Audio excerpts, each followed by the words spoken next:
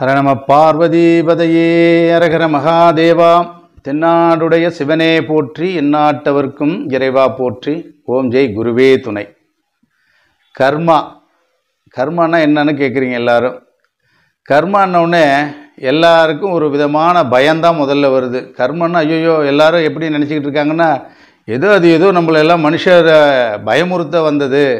ஏதோ அது நம்மளெல்லாம் ஒரு மாதிரியாக அழிச்சிரும் அப்படிங்கிற மாதிரி ஒரு பயம் இருக்குது கர்மா என்பது செயல்.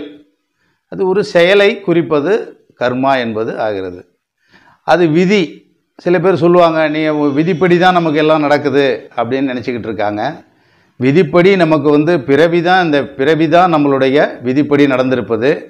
ஆனால் நமக்கு வரக்கூடிய வினைகள் அனைத்துமே அந்த கர்ம வினை காரணமாக தான் நமக்கு செயல்கள் நடக்கின்றது.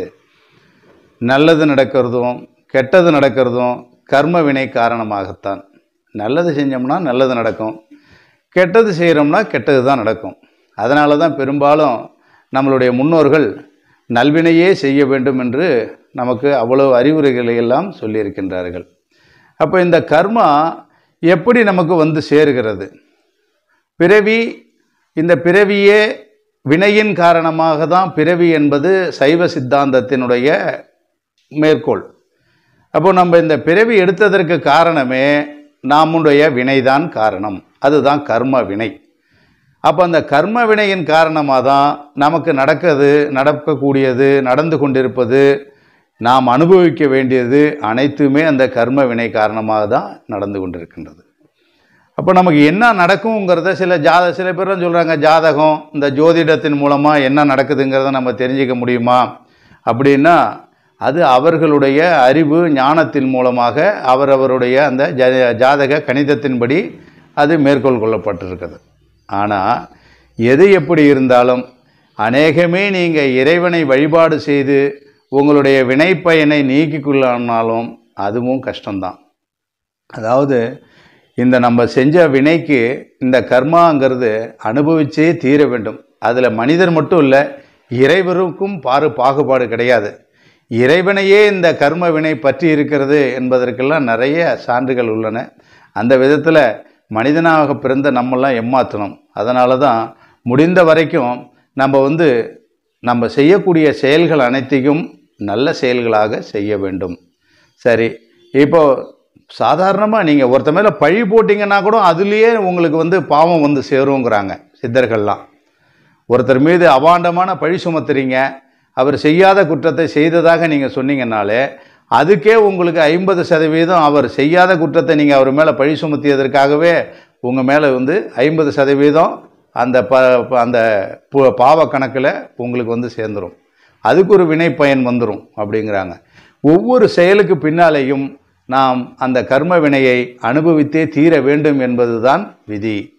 அந்த விதிப்படி தான் நம்மளுடைய வாழ்க்கையும் அமையும். ஒருத்தருக்கு திடீர்னு வாழ்க்கை நல்ல வாழ்க்கை வந்துடுது அவர் எப்படி இவ்வளவு நாள் கஷ்டப்பட்டுக்கிட்டு இருந்திருப்பார்? ஒரே நேரத்தில் பெரிய செல்வந்தர் ஆகிடுவார் எப்படி அவருக்கு மட்டும் இந்த மாதிரி ஒரு அதிர்ஷ்டம் கிடைச்சது? அதுவும் உங்களுக்கு ஒரு மனசில் ஒரு கேள்விக்குறியாக இருந்துக்கிட்டு இருக்கலாம். கண்டிப்பாக அவருக்கு அந்த காலகட்டத்தில் அந்த ந- அந்த நேரங்களில் அவருக்கு அந்த அவர் செய்த அந்த நல்வினையின் காரணமாக அவருக்கு அந்த திடீர்னு ஒரு அதிர்ஷ்டம் வந்து அவர் பெரிய பணக்காரனாகவோ செல்வந்தராகவோ இல்லை இந்த உலகம் மதிக்கத்தக்க வகையிலோ இல்லை எல்லோராலும் போற்றப்படும் வகையிலோ பதவி உயர்வு இந்த அந்தஸ்தான தொழில் இல்லை தொழிலில் பெரிய தொழில் அதிபராக வர்றதுக்கு கூட இன்றைக்கி வாய்ப்பு இருக்குது அந்த மாதிரி. அந்த மாதிரியெல்லாம் இருக்கக்கூடிய ஒரு காலம். அந்த மாதிரி அந்த வினை பயன் காரணமாக தான் கர்ம வினை. அந்த கர்மா என்பது செயல். அந்த செயல் நம்மளுடைய நாம் இன்றைக்கு செய்கின்ற செயல் மூலமாக தான் நமக்கு பிறவியே கிடைக்குங்கிறார். பொதுவாக நம்மளுடைய இந்து தர்மம் என்ன சொல்லுதுன்னா இந்த பிறவி வேண்டாம். இந்த பிறவியே வேண்டான்னு தான் இன்றைக்கி எல்லாமே பிறவியே வேற இருக்க வேண்டும் என்று தான் எல்லோரும் இறைவனிடத்தில் வேண்டி இருக்கின்றார்கள். அதே போல் ஒருத்தருடைய வாழ்க்கையில் நல்ல உயர்ந்த நிலையில் இருந்துக்கிட்டு இருப்பாங்க. திடீர்னு பார்த்தீங்கன்னா அவங்க ரொம்ப கஷ்டத்துக்கு போயிடுவாங்க. வாழ்க்கையில் அவர்கள் அவர் சம்பாதித்த பொருள் பெயர் புகழ் பதவி எல்லாவற்றையும் இழந்து ஏன் இன்னைக்கு பார்த்தீங்கன்னாக்கா ரொம்ப கீழ்த்தரமான நிலைமையில் கூட போயிடுவாங்க. அதற்கும் அந்த கர்ம வினைதான் காரணம். அவருடைய நற்செயல்களும் அவர் செய்த அந்த தீவினையும் அவர் செய்த தீய செயல்களும் தான் அதற்கும் காரணமாக அமைந்து விடுகிறது. அதே போல் உண்மை இல்லாத விஷயங்களை உண்மைக்கு புறம்பான வார்த்தைகளை பேசுவதே தவறு. நீங்கள் ஒருத்தரை பற்றி நம்ம இல்லாத ஒரு அபாண்டங்களை இன்றைக்கு பேசுவது பரப்புவது மூலமாக கூட உங்களுக்கு அந்த மாதிரி பாவச் செயல்கள் வந்து சேர்ந்துவிடும். அதுவும் கர்மவினை பயனாகத்தான் உங்களுக்கு நடக்கின்றது. இப்போது பொதுவாக இன்றைக்கி நம்ம நம்ம வாழ்கிற வாழ்க்கையில் ஒவ்வொரு செயல்களும் இறைவனை பற்றியதாக இருக்க வேண்டும். நம்மளுடைய சான்றோர் பெருமக்கள் அனைவருமே பார்த்தீங்கன்னாக்கா வேண்டும் மீண்டும் பிறவாமை வேண்டும்னு தான் கேட்டிருப்பாங்க. அப்போது இந்த பிறவி மனிதனாக பிறப்பதற்கு அரிது அரிது மானிடராய் பிறத்தல் அரிது அதனினும் அரிது கூன் குருடு செவிடு பேடு நீங்கி பிறத்தல் அரிது அப்படின்னு ஔவையார் பிராட்டி சொல்லியிருப்பாங்க. அந்த மாதிரி நம்ம இந்த மனித பிறப்பு நம்ம நன் நம்ம நம்ம செய்த நல்வினை காரணமாக தான் இந்த பிறவி கிடைச்சிருக்கு. ஆனால் நமக்கு வரக்கூடிய இன்பமும் துன்பமும் நம்மளுடைய செயல் காரணமாக அதுதான் அந்த கர்மா. அப்போது அந்த செயல் இனிமேலாவது நாம் எடுத்த இந்த பிறவி பயனை அடைவதற்கு நம்ம நற்செயல்களை செய்ய வேண்டும். நல்லது செஞ்சுட்டு போயிட வேண்டியதானே இந்த இப்போ என்னது என்ன த என்ன த என்ன பாவம் செய்தோமோ இன்றைக்கி இன்னதென்று அறியேனேன்னு வள்ளலார் சொல்லியிருக்காரு. அந்த மாதிரி அவரே அந்த மாதிரி அந்த ஒரு ஞானியே அந்த மாதிரி வாடி வணங்கியிருக்கிறார். அதாவது வாடிய பயிரை கண்டபோதெல்லாம் வாடினேன் என்று வாடிய வள்ளல் பெருமான் கூட என்ன பாவம் செய்தேனோ இன்னதென்று அறியேனே என்று மனம் வருந்தி வா- வா- வாய்மொழிந்திருக்கின்றார். அப்படி ஒவ்வொரு வாழ்ந்த புலவர்களும் ஞானிகளும் சித்தர்களும் அவர்களுடைய இந்த பிறவியை போக்க வேண்டும் என்பதற்காகத்தான் தவ வாழ்க்கை வாழ்ந்தார்கள். நாமும் ஒவ்வொருவரும் அதுபோல அவர்கள் காட்டிய அந்த வழியிலே நற்சிந்தனையோடு வாழ வேண்டும். பிறர் மீது பழி போடாமலும் பிறர் அவதூறு பேசாமல் வாழ்ந்து இந்த பிறவி பயணம் இந்த பிறவி பயணத்தை அடைந்து பிறவி பெருங்கடலை நீந்தி இறைவனடி சேர வேண்டும் என்பதுதான் நாம் அனைவரின் விருப்பம்.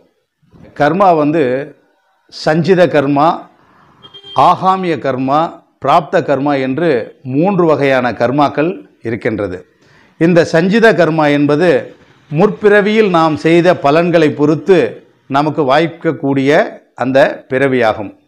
அதாவது நம்ம இந்த சஞ்சித கர்மா அதாவது போன பிறவியில் நம்ம என்னென்ன செய்தோமோ அதையெல்லாம் இந்த பிறவியில் அனுபவிப்பதற்காக நமக்கு ஏற்படக்கூடிய அந்த செயல்தான் சஞ்சித கர்மாவாகும். ஆகாமிய கர்மா. இந்த பிறவியில் நாம் செய்யக்கூடிய பாவ புண்ணியங்களை பொறுத்து அடுத்த பிறவியில் நமக்கு கிடைக்கக்கூடிய அந்த நற்பலன்களும் தீய பலன்களுமே ஆகும். அதை தான் வந்து ஆகாமிய கர்மா என்று கூறுகிறார்கள். பிராப்த கர்மா. அதாவது ஏற்கனவே கணிக்கப்பட்ட கர்மாவின் செயல்பாடுகள் குறித்து தான் பிராப்த கர்மா. சில பேர் சொல்லுவாங்க எதை செய்யணுன்னாலும் ஒரு பிராப்தம் வேணும்ப்பா பிராப்தம்னா என்ன? நாம் செய்திருக்க வேண்டும். அந்த பிராப்தம் அடையணும்னாலே ஏற்கனவே நம்ம நன்மை செய்திருந்தால் தான் நமக்கு நன்மை கிடைக்கும். அதனால் நம்ம இப்போது செய்யக்கூடிய எதையாவது நாம் அறியாம் அறிந்தோ அறியாமலோ முற்பிறவியில் செய்த அந்த தவறுகளுக்கெல்லாம் நாம் இப்பொழுது அனுபவித்து கொண்டிருக்கின்றோம். அதனால் இந்த பிறவியிலையும் நாம் புனிதர்களாக வாழ வேண்டும். அதுதான் பிராப்த கர்மா. அந்த பிராப்த கர்மாவிலிருந்து நம்மை நாம் விடுவித்துக் கொள்வதற்கு நம்மளால் முடிந்தவரை பரோபகாரம் தர்ம சிந்தனையோடு வாழ வேண்டும். பிறருக்கு உதவி செய்ய வேண்டும். பரோபகரியா பரோபகாரியாக இருக்க வேண்டும்.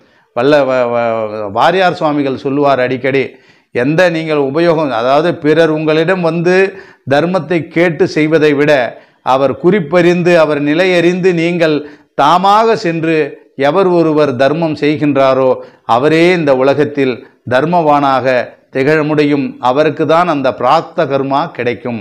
அப்படி அந்த நற்பயன்களை பெறுவதற்கு பிறருக்கு உதவி செய்து தான தர்ம காரியங்களை செய்து இறை துண்டோடு இறை சிந்தனையோடு வாழ்ந்தால் பிராப்தம் கண்டிப்பாக உண்டு.